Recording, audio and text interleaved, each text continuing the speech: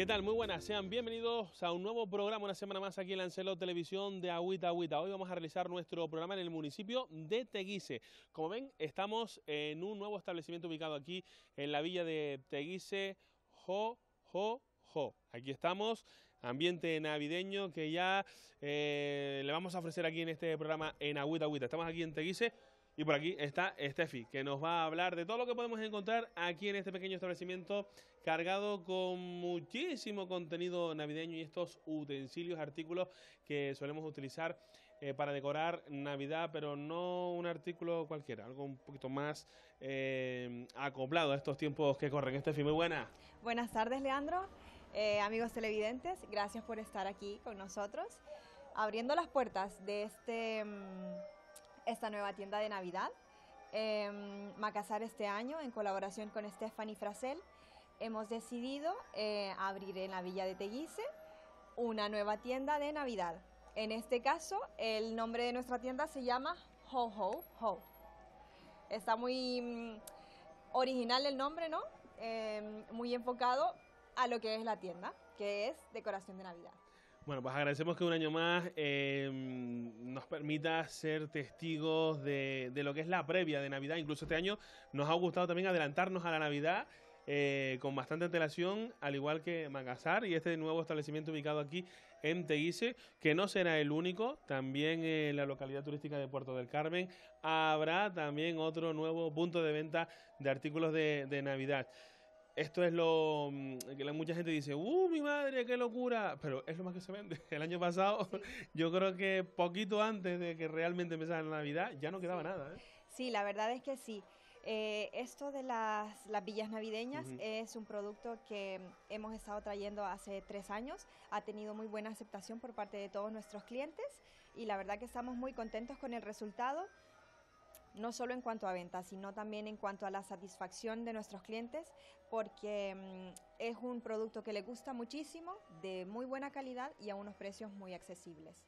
Además, eh, venir aquí con los chinijos, con las chinijas, Stephanie, al final uno acaba llevándose alguna cosilla, ¿no? Sí. Porque se puede vender suelto, ¿verdad? Claro, cada artículo eh, se vende por separado eh, algunas cositas sí son, son, vienen en set, pero mm, la verdad que sí, que la mayoría son artículos que se venden por separado. Los niños, como lo mencionaste, juegan un papel muy importante eh, en la Navidad en general, ¿no?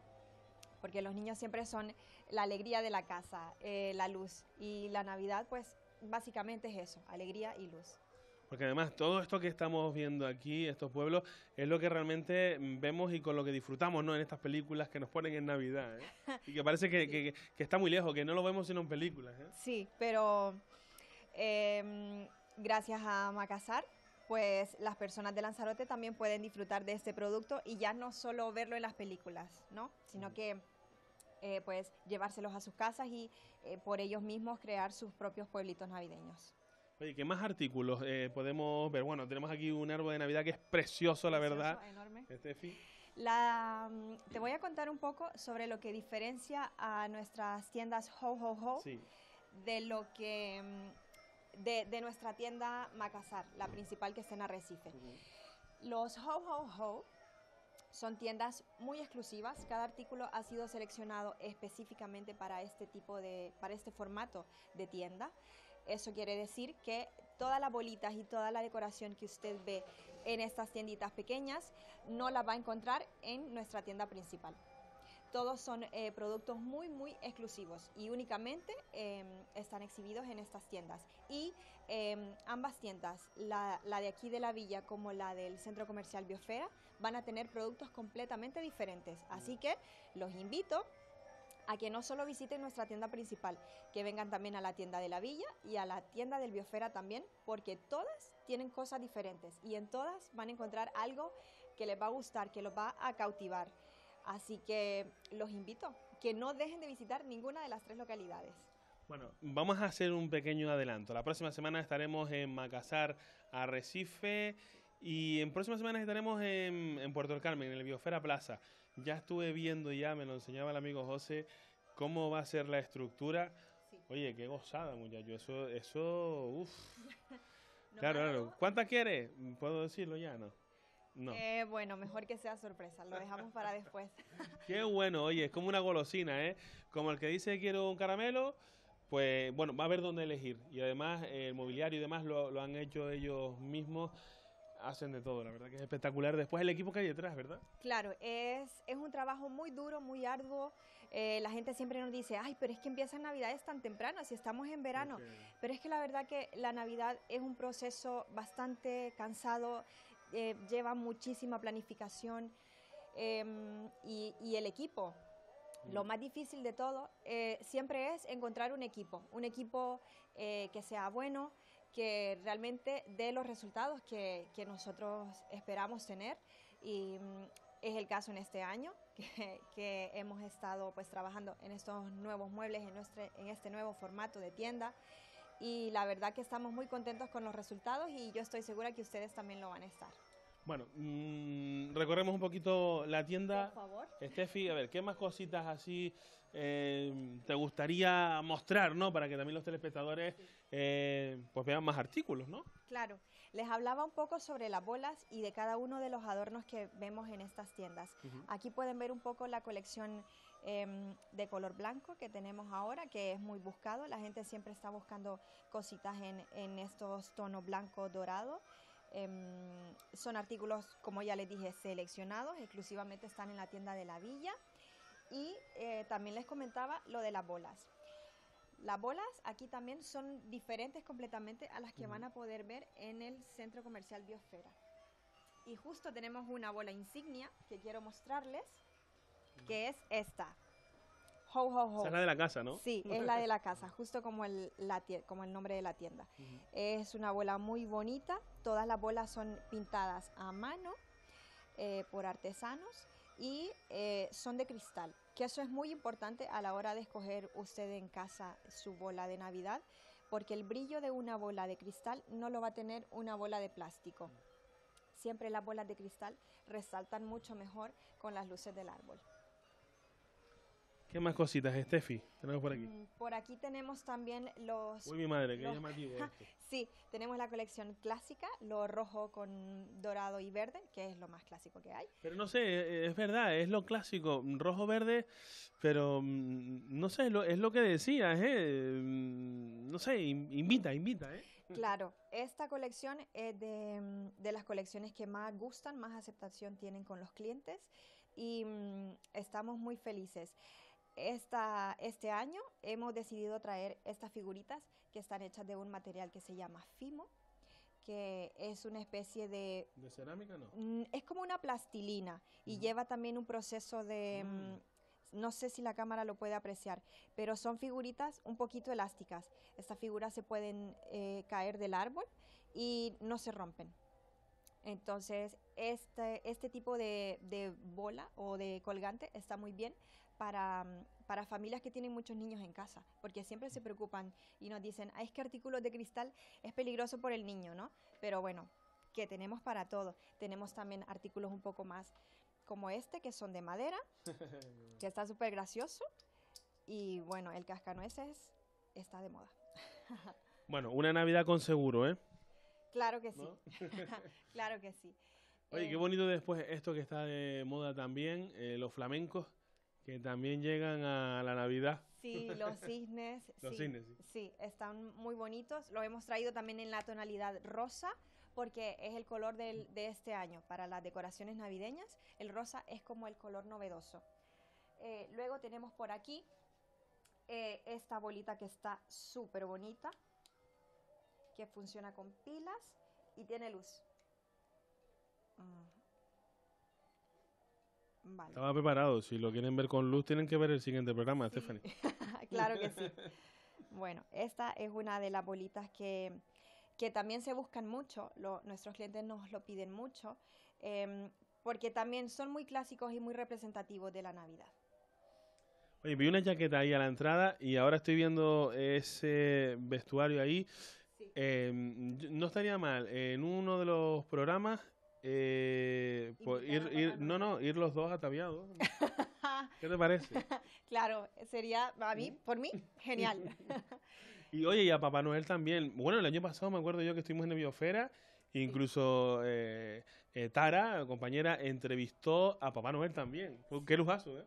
Sí, la verdad que sí. Esperamos que este año eh, Papá Noel vuelva a estar con nosotros em, en el evento de Navidad que año a año estamos realizando.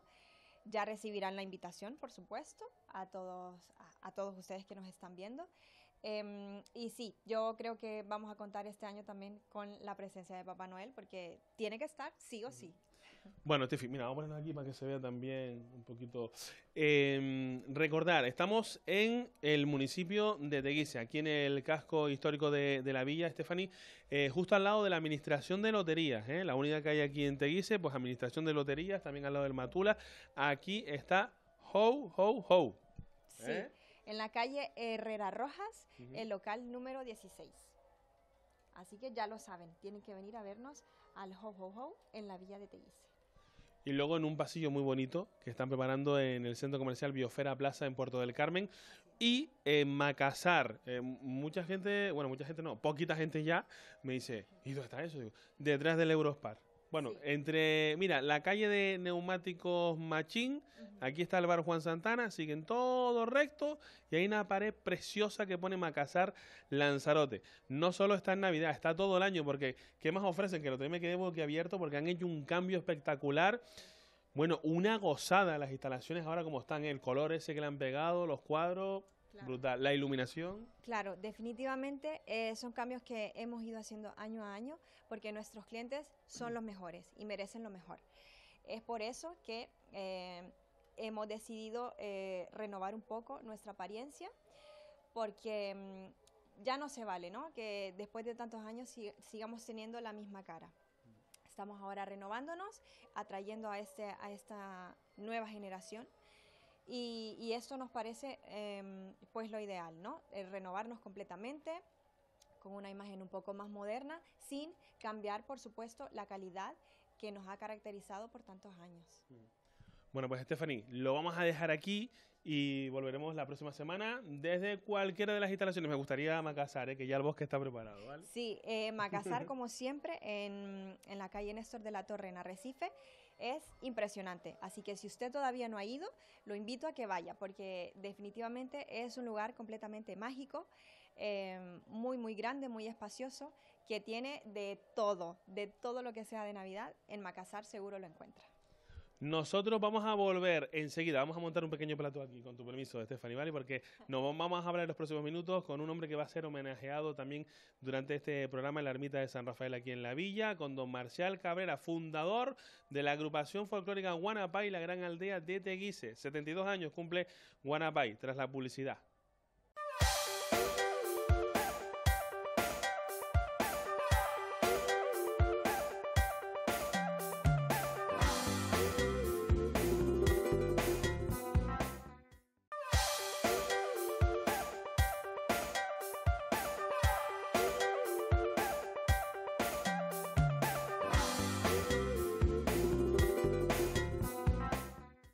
Seguimos adelante, continuamos con el desarrollo de nuestro magazine Agüita Agüita esta semana desde el municipio de Teguise, aquí en la villa, en este establecimiento eh, bueno, con una decoración navideña y es tiempo de hablar de Navidad. ¿Por qué? Porque los preparativos son ahora, ¿eh? así que ya en breve, en una semana, eh, también los diferentes municipios, diferentes pagos de la isla de Lanzarote comenzarán con la iluminación navideña y también todo lo que conlleva las compras y un poco a golpe de WhatsApp. Hoy el 24 cenamos contigo, el 31 en casa de tu madre, bueno, lo típico de las Navidades. Bueno, tras la publicidad ya estamos aquí, vamos a hablar con don Marcial Cabrera. ¿Quién no conoce a don Marcial Cabrera? Pues muy poca gente, ¿eh? muy poca gente es la que dice, yo no lo conozco. Mira, mira el hocico que tiene don Marcial, que con 14 años le dio por meterse el hombre ahí en el gusanillo, en el mundo del folclore, hasta la fecha, 87 años. Y es fundador de la agrupación La Gran Aldea de Teguise y la agrupación folclórica Guanapay. Además, Guanapay cumple esta de celebración 72 años. Eh, su fundador, don Marcial Cabrera, muy buenas. Muy buenas. ¿Qué tal? Uy, me está dejando usted a mí. Madre mía. Qué lujazo, ¿eh? Pues si cuando yo bailaba tú no habías nacido todavía. No, no, no, no. Ni mi padre, yo creo. ¿eh? Ni tu padre. Don Marcial, ¿cómo surge la idea? de Porque con 14 años en aquella época... Pues mira, la idea mm, fue por don José María Gil. O sea, tú que don José María Gil vivió aquí en Teguise muchos años, con el hermano que era sacerdote.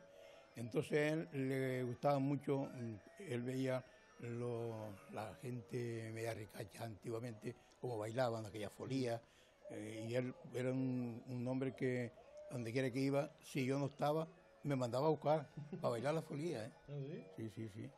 Y era un hombre muy aquello. Y entonces resulta que él habló con Juana González, con Maruca Morales y con Manuela García, que eran las que nos enseñaron a bailar los bailes que habían antiguamente, los bailes de ellos, ¿no? Y yo, pues soy un amante de, mantener nuestras tradiciones nuestras costumbres, porque ella me decía, dice, Marcial, no cambie esto. Y José María, porque venía a ensayar con nosotros. ¿eh? Sí, sí, Don María venía a ensayar con nosotros que tocaba el violín, desde, ese entonces. Pues nada, surgió porque mm, pues me, gustó, se metió el gusanillo ese en el cuerpo y cuando en el cuarto fui en el, en el 54, pues fuimos al cuartel. Pues antes, eso fue el primer, estoy hablando del primer grupo, del 47. Y entonces, antes se hubieran marchado, pues, unas tres familias para la, a la zafa del tomate, pues ya el grupo quedó medio tartalado, ¿sabes? Pues luego yo seguí, y cuando fuimos para el cuartel, los que quedamos, cuando nos daba relación los sábados, pues yo cogía una bicicleta y me iba a los valles, solo, a enseñar a las chicas de los valles y formé una escuela allí. Entonces, pues seguí, seguí dando clases de baile en todos los pueblos. Todos los pueblos, pues son Tao, Tiagua, Muñique, que por cierto, las de Muñique mantuvieron la Guanapay muchísimos años, gracias. Sí, muchos años. Estuvieron, ya eran personas mayores. Y pues había otro grupito de las chicas más jóvenes que también las estuve enseñando, que no sé si conocerá alguna que, que el hermano luchaba, que bueno, se casó ya a ellos eran niñas pequeñas, todas ellas, tendrían 10, 11 años. Pues seguí, seguí, seguí, y después pues, y llegué a ir hasta Orso a buscar, ¿sí? a buscar con mi furgón, después ya tenía un furgón. Y luego después cuando la Guadapay tuvo un bajón, porque yo me enfermé de una depresión, y, entonces, claro, don Julio, me acuerdo siempre, el médico, dice, Marcial, tú no puedes seguir esto, de dormir nada más que dos horas claro, yo iba a, iba a buscarla y después luego iba a llevarla, ¿sabes? Vaya tranquila, ¿no? Oh, pero me gustaba, la verdad, me gustaba, aquello me, yo gozaba con eso. Y nada, y, así seguimos, y por luego, pues me entusiasmé y digo, bueno, y como yo estaba dando las clases enseñando chicas, digo, ¿por qué no hago un grupo folclórico? Pues entonces, Bartolomé Caraballo, como er, éramos muy amigos y estamos siempre en Nación Católica, pues me dice un día, dice, Marcial, ¿por qué no hacemos un grupo folclórico? Digo, vamos. Digo, tú me, me echado una mano también, me ayuda. Pero claro, él tuvo un poquito tiempo, un año y pico, porque después lo nombraron alcalde y ya no, me, quedé yo solo allí. Y entonces yo, a los cuando enseñé a las chicas todas a bailar, pues mm, hablé con todos los tocadores que tuvimos en el primer grupo y los llevé para Guanapay, unos veinte y tantos, los que estaban en el, en el grupo del 47. Y entonces pues hice la Guadapay y estuve allí muchos años, mucho, hasta el 96 estuve, con la Guadapay. Y después me, ocurrió de, digo, bueno, vamos a ver si mantenemos la, así podemos sacar las folías nuestras, que don María siempre me estaba machacando con las folías. Pues digo, ahora pues ahora un grupo. Y entonces hice la Gran Aldea, le puse yo mismo el nombre, la Gran Aldea, y a la Guadapay también le puse yo mismo el nombre. Y, y, no, y se la Aldea, seguimos, seguimos, y claro, hasta la fecha. Qué, orgulloso se tiene que sentir, porque yo siempre digo, ¿para qué quieres un chalet? ¿Para qué quieres una casa grande, un collazo si luego no lo cuidas, no?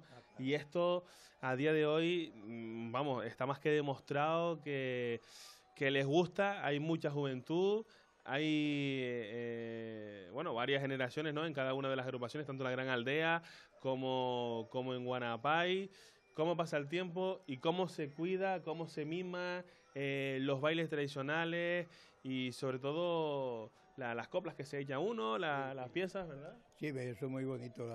La, como las tradiciones, las costumbres no hay que perderlas. Yo siempre le digo a mi hijo, digo, no te copies de nadie, los bailes nuestros de aquí, como me enseñaron a mí, la gente de aquí, con los bailes que ellos bailaban antiguamente, bailaban muy bien ellos antes, los bailes sueltos, porque yo tuve una, una garra con César Manrique. Sí, pues César Manrique venía todas las noches, venía él y Pepe Damaso, venía a verlos ensayar. Y entonces, mm, en la malagueña, nosotros para no perder la costumbre, porque antiguamente, yo, claro, después me interesé preguntando a la gente mayor, y que como, que por qué bailaban solamente a la malagueña agarrado, dice, porque la malagueña solamente se baila agarrado. Y para poder bailar agarrado a la malagueña, el hombre que no llevaba el pañuelo para ponerse detrás de la espalda de la mujer, pues no, no bailaba la chica. No, no, no, no, que va. El padre se ponía con las cachimbas que tenían ellos y una de ellas me contó, eso me lo contó una de ellas, sí, que se llamaba Olimpia, de aquí de la villa, que fue, no, estaba pretendiendo uno de Aría y la invitó a bailar. Dice, dice no, si no traiste el pañuelo. Dice, no, no, me olvidé. Dice, ah, pues no sé, no. Dice, porque que tu padre no está aquí ahora. A la madre era más toleraba un poquito más, pero el padre la arrestaba. Y dice, aquel que está allí con la cachimba grande, aquella es mi padre. Y, y no bailó, no bailó. Y, y, después mm, resulta que te iba a contar lo de César Manrique, cuando salimos agarrados bailando a la malagueña, dice, Marcial, eso no, que eso es moderno. Digo, mire, esto es más viejo, pues yo lo trataba de tú porque él venía, cuando antes no habían guaguas ninguna, él venía, íbamos a la caleta caminando. Y él y Pepe Damos, venía siempre a verlos ensayar. Entonces Pepe Damos le dice, César, es verdad lo que dice Marcial, dice, porque mi abuela a mí en la Gran Canaria me decía que para poder bailar con el novio tenía que ponerle un pañuelo detrás de la espalda a la mujer. Sí, no, nada. Sí, no, no, bailaba.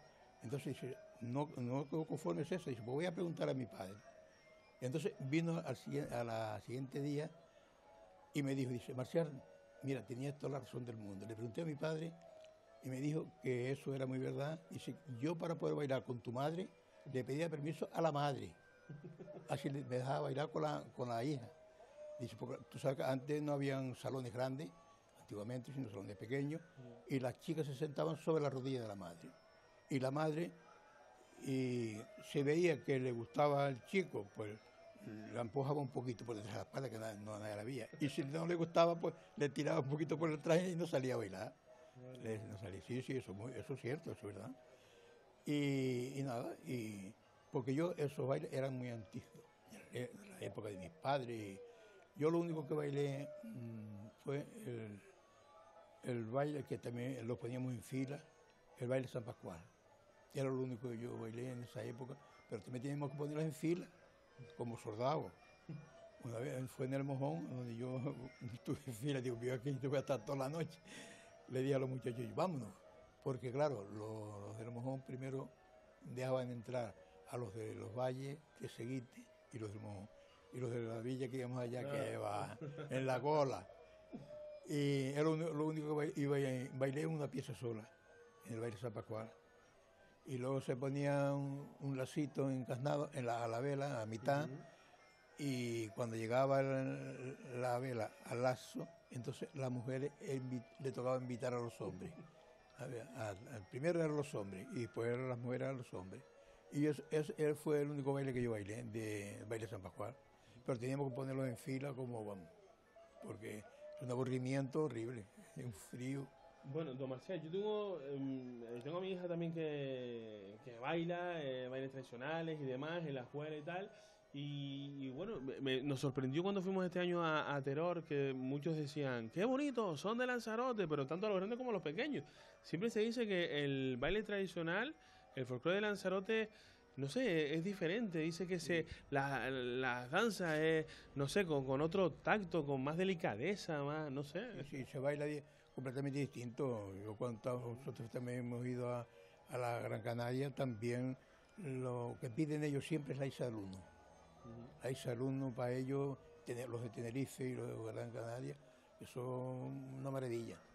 Y, y yo ahora cuando, como te iba diciendo, la que enseñé a, a, mi, a mi hija, a Esther, que es la que lleva también el baile ahora, y mi hijo Suso, y luego después los nietos, a, a, María, a María Nieves y, a, y al hermano José. Pues enseñé. Oye, qué bueno que le hemos visto a usted en algún que otro festival de la Gran Aldea de Teguise bailar con su nieta, ¿eh? Qué, qué, orgullo, ¿no? De abuelo, ¿eh? Ah, hombre, siempre. ella no le gusta bailar más que con el abuelo. Cuando llega, pues, siempre me pregunta, abuelo, ¿los brazos cómo lo hice? Digo, los brazos están bien. Pues yo siempre le digo que los brazos tienen que estar un poquito altos, uno, uno a un lado, no pegado al cuerpo, sino uno a un lado y otro al otro, ¿no? Y ella siempre es que le encanta también, además baila muy bien también. No es porque sea nieta mía, pero baila.